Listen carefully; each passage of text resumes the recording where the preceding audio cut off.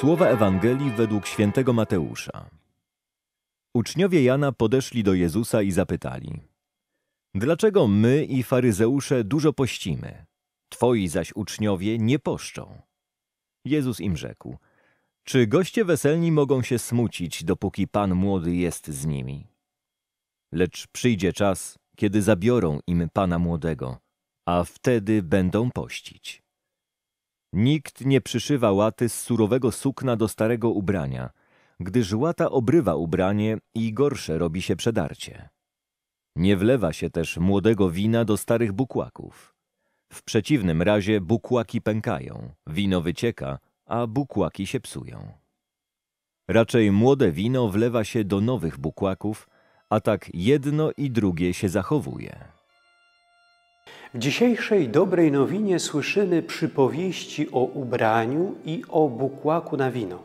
Jaki jest sens tych przypowieści? Kim są owe stare bukłaki i stare ubranie? To uczniowie Jana i uczniowie faryzeuszów.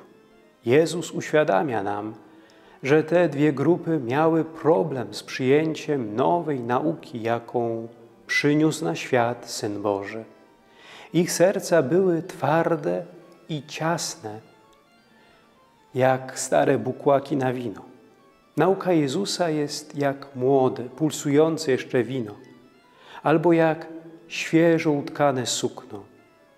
Jeśli próbuje się tym suknem załatać dziury w starym ubraniu, w krótkim czasie okaże się, że stara tkanina ma coraz więcej przedarć a stare naczynie pękają pod wpływem ciśnienia młodego wina.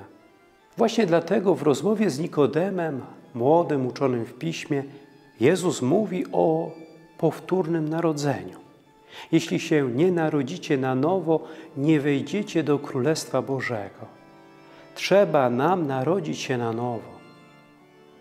Odrzucić wszystko to, co nie jest Chrystusowe, stare, zatwardziałe bukłaki naszych serc przemienić na nowe, zdolne do przyjęcia nowości Ewangelii, młodego wina Chrystusowej nauki.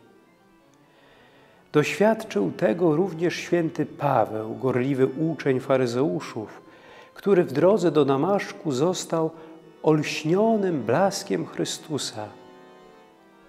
Zdarł on z siebie stare łachmany faryzeizmu, nienawiści, chęci zemsty, a przyjął nową suknię dobrej nowiny, Ewangelii.